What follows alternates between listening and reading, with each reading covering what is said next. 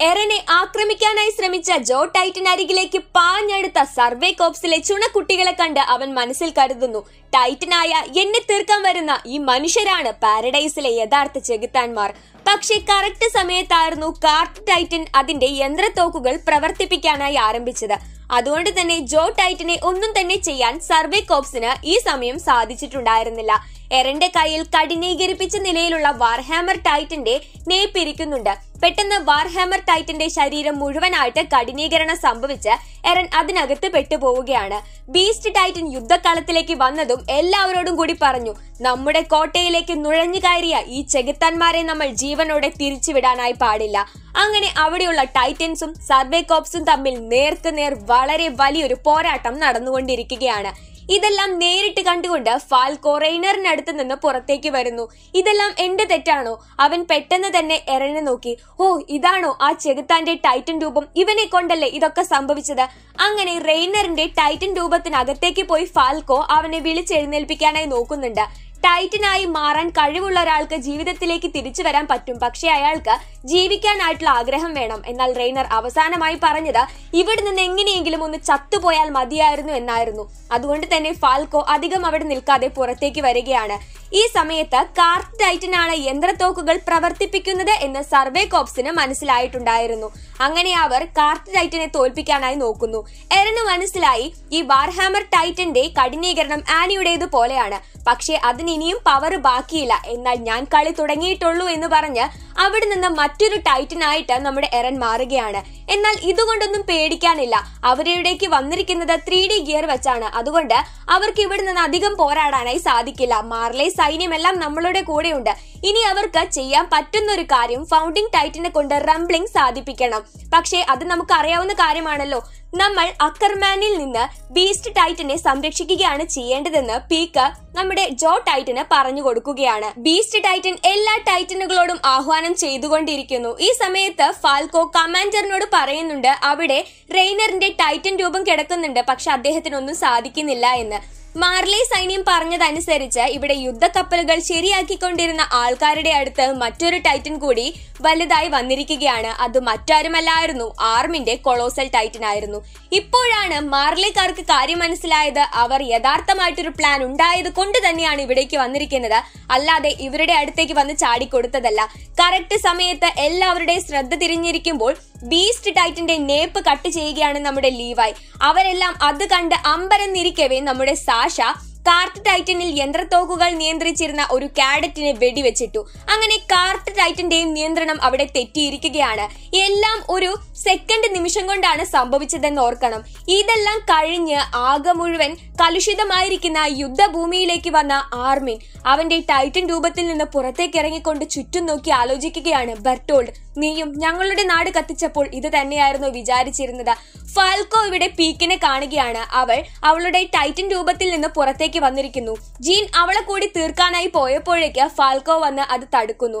അപ്പോഴേക്ക് കമാൻഡർ മാഗത്ത് വന്ന് ഈ സർവേ കോപ്സിനെ എല്ലാത്തിനെയും ഇടിച്ചിടാനായി ആരംഭിക്കുമ്പോഴാണ് നമ്മുടെ എറൻ അടുത്തേക്ക് ജോ ടൈറ്റൻ കൂടി ചാടി പിടഞ്ഞു വരികയാണ്. എന്നിട്ട് വാർ ഹാമർ ടൈറ്റന്റെ ആ നേപ്പെടുക്കാനായി നോക്കുമ്പോഴേക്ക് ഈ ജോ ടൈറ്റന്റെ പല്ലിനും നഖത്തിനും ഭയങ്കരമായിട്ട് കട്ടിയുണ്ട്. അതുപയോഗിച്ച് അവൻ ആ നെയ്പ്പ് തകർക്കാനായി ശ്രമിക്കുന്നു. പീക്കും ടൈറ്റനായി മാറാൻ കഴിവുള്ള ഒരാളാണെങ്കിലും പക്ഷേ ആംഡ് ടൈറ്റന്റെ അത്രയൊന്നും ശക്തി കാർട്ട് ടൈറ്റൻ ഇല്ലാത്തത് കൊണ്ട് ഇവളുടെ മുറിവുണങ്ങാനായി ഒരുപാട് നേരം വേണ്ടിവരുമെന്ന് പറയുകയാണ്. അപ്പോഴായിരുന്നു ഒരു യുദ്ധവിമാനം ഇവരുടെ മാർലയുടെ മുകളിലൂടെ പറന്നു പോകുന്നത്. അതിൽ ഹാൻജിയും ആർമിനും ഒന്നിയങ്കപ്പോൺ എന്ന കാഡറ്റുമാണ് ഉണ്ടായിരുന്നത്. ഇവിടെ നടന്നുകൊണ്ടിരിക്കുന്ന ഈ ദൗത്യം മുഴുവൻ പ്ലാൻ ചെയ്തിരുന്നത് ആർമിനായിരുന്നു.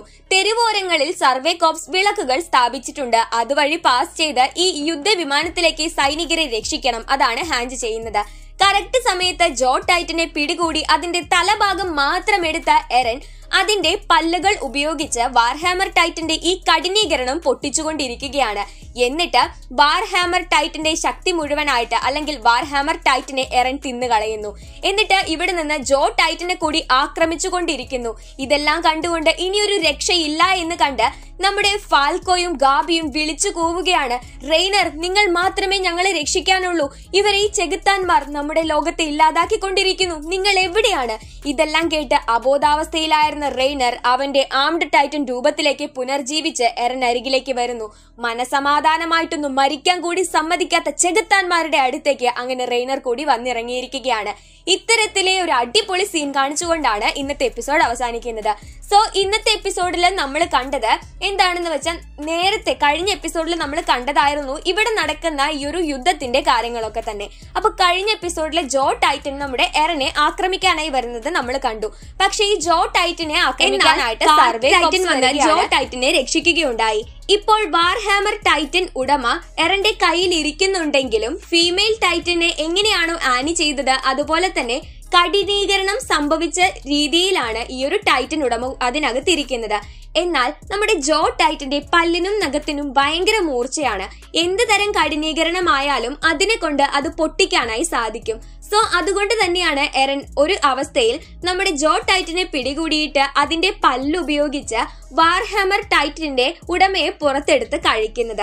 ഇതിനിടയ്ക്ക് ഇവർ ശ്രദ്ധിക്കാത്തൊരു കാര്യം നമ്മുടെ സർവേ കോപ്സ് അല്ലെങ്കിൽ ഇവരുടെ ഭാഷയിൽ പറയുകയാണെങ്കിൽ പാരഡൈസിലെ ചെകുത്താന്മാർ ഇവിടേക്കൊരു പ്ലാനും ഇല്ലാതെയാണ് വന്നിരിക്കുന്നതെന്ന് ഇവർ കരുതുകയാണ്. പീക്കിന്റെ വാക്കുകളിൽ നിന്ന് നമുക്കത് മനസ്സിലാകും. അതായത് ഈ യുദ്ധഭൂമി അവരുടെ നിയന്ത്രണത്തിലാണ്. പിന്നെ ത്രീ ഡി ഗിയറുമായിട്ടാണ് സർവേ കോപ്സ് ഇവിടേക്ക് വന്നത്. അതുകൊണ്ട് തന്നെ ആയുധങ്ങളും ഇന്ധനവും ഒക്കെ അവർക്ക് പരിമിതമാണ്. ഇനിയിപ്പോ അവർ ഈ ആയുധങ്ങളെല്ലാം തീർന്ന് ഇന്ധനമെല്ലാം തീർന്ന് ഇവിടെ തോറ്റ രീതിക്ക് ഇരിക്കുമ്പോഴും മാർലേ സൈന്യം ഇവിടെ മുഴുവൻ കവർ ചെയ്തിട്ടുണ്ടായിരിക്കും. പിന്നെ അവർക്ക് രക്ഷപ്പെടാനാണെങ്കിൽ കടലിൽ നിറയെ യുദ്ധ കപ്പലുകളുമാണ് ഉള്ളത് അതുകൊണ്ട് അവർ ഇവിടേക്ക് വന്നതേ മണ്ടത്തരമാണ്. ഇവിടേക്ക് വന്ന സ്ഥിതിക്ക് ഇവർക്ക് എറന്റെ അടുത്ത് നിന്ന് ഫൗണ്ടിങ് ടൈറ്റിനെ തിരിച്ചെടുക്കാനും സാധിക്കും. അതുപോലെ ചെകുത്താന്മാരെ തോൽപ്പിക്കാനും സാധിക്കുമെന്നാണ് പീക്ക് ഒരു സമയത്ത് നമ്മുടെ ജോ ടൈറ്റനോട് പറഞ്ഞിട്ടുണ്ടായിരുന്നത്. എന്നാൽ നമ്മുടെ സർവേ കോപ്സ് ഇവിടേക്ക് വന്നിരിക്കുന്നത് തന്നെ ആർമിന്റെ പ്ലാൻ കൊണ്ടാണ്. ഏകദേശം എർവിനോട് അടുത്ത് നിൽക്കുന്ന എന്നാൽ അവന്റെ ബുദ്ധിപരമായിട്ടുള്ള പല നേർക്കാഴ്ചകളും ഉൾക്കൊണ്ട ആ പ്ലാനിൽ ഇവരുടെ ഈ ഒരു വീക്ഷണം ഒന്നും തന്നെ ഒന്നും തന്നെ ആയിരുന്നില്ല. അതായത് യുദ്ധക്കപ്പലുകൾ തകർക്കാനായിട്ട് ആർമിനുണ്ടായിരുന്നത് തന്നെ ആ കടലിലായിരുന്നു. അങ്ങനെ അവിടെ നിന്ന് കൊളോസൽ ടൈറ്റൻ രൂപപ്പെട്ട് അവിടുത്തെ യുദ്ധക്കപ്പലുകൾ മുഴുവനായിട്ട് കത്തിച്ചാമ്പലായി. എന്നാൽ ഈ സമയത്ത് സർവേ കോപ്സും എറനും മാർലയിൽ നിന്ന് തന്നെ ഇവരെ എല്ലാവരെയും തോൽപ്പിച്ചുകൊണ്ടിരിക്കുകയായിരുന്നു. പിന്നെ ഇവരെ അമ്പരപ്പിച്ച മറ്റൊരു കാര്യം എന്ന് പറയുന്നത് ആ യുദ്ധ വിമാനമായിരുന്നു അത് ആർമിൻ എന്തിനു വേണ്ടിയിട്ടാ സെറ്റ് ചെയ്തതെന്ന് വെച്ചാൽ ഇവിടെ നിന്ന് രക്ഷപ്പെടാനായിട്ട് മറ്റൊരു മാർഗവും ഇല്ലെങ്കിൽ ഈ സൈനികരെ മുഴുവനായിട്ട് യുദ്ധ വിമാനത്തിൽ കയറ്റി ഇവിടെ നിന്ന് എല്ലാം റെഡിയാക്കിയതിന് ശേഷം പോകണം. അതിനു വേണ്ടിയിട്ടായിരുന്നു യുദ്ധക്കപ്പൽ അവിടെ സെറ്റ് ചെയ്തിട്ടുണ്ടായിരുന്നത്. എന്നാൽ അപ്രതീക്ഷിതമായി സംഭവിച്ച ഒരു കാര്യം എന്താണെന്ന് വെച്ചാൽ അവസാന നിമിഷത്തിൽ നമ്മുടെ ആംഡ് ടൈറ്റൻ യുദ്ധഭൂമിയിലേക്ക് തിരിച്ചു വന്നിരിക്കുകയാണ്. സോ ഇനി നമുക്ക് ഒട്ടും തന്നെ പ്രവചിക്കാൻ സാധിക്കാത്ത നിമിഷങ്ങളാണ് നമ്മളെ കാത്തിരിക്കുന്നത്. ഇന്നത്തെ എപ്പിസോഡ് കൂട്ടുകാർക്ക് ഇഷ്ടപ്പെട്ടു എന്ന് വിചാരിക്കുന്നു. ഇഷ്ടപ്പെട്ടു കഴിഞ്ഞാൽ ലൈക്ക് ചെയ്യുക ചാനൽ സബ്സ്ക്രൈബ് ചെയ്യാത്തവരുണ്ടെങ്കിൽ വേഗം തന്നെ ചാനൽ സബ്സ്ക്രൈബ് ചെയ്തേക്കുക. ഇതുവരെയുള്ള എപ്പിസോഡുകളിലുള്ള ഡൗട്ട്സും കാര്യങ്ങളും ഒക്കെ ജസ്റ്റ് ഒന്ന് കമന്റ് ആയിട്ട് അറിയിക്കാട്ടെ. നമ്മളൊരു ക്യു എൻ എന്റെ കാര്യം പറയുന്നുണ്ടായിരുന്നു. നമ്മൾ അതിന്റെ ഡേറ്റ് പറയാത്തത് എന്താണെന്ന് വെച്ചാൽ ഇനിയുള്ള എപ്പിസോഡ്സ് അതായത് ഫോർത്ത് സീസൺ തുടങ്ങിയപ്പോൾ തന്നെ നിങ്ങൾക്ക് ഭയങ്കരമായിട്ട് കൺഫ്യൂഷൻസ് വന്നിട്ടുണ്ടായിരിക്കും. സോ നമ്മൾ ഈ കൺഫ്യൂഷൻസ് ആയിട്ടുള്ള എപ്പിസോഡ്സ് ഒക്കെ തന്നെ ഒന്ന് കഴിഞ്ഞതിന്റെ ശേഷം അതുവരെയും നിങ്ങൾക്ക് ഡൗട്ട് വരാനുള്ള ചാൻസ് ഉണ്ട്. അപ്പൊ അതൊക്കെ കഴിഞ്ഞതിന്റെ ശേഷം ക്യു എൻ എ ചെയ്യാന്ന് വിചാരിക്കുകയാണ്.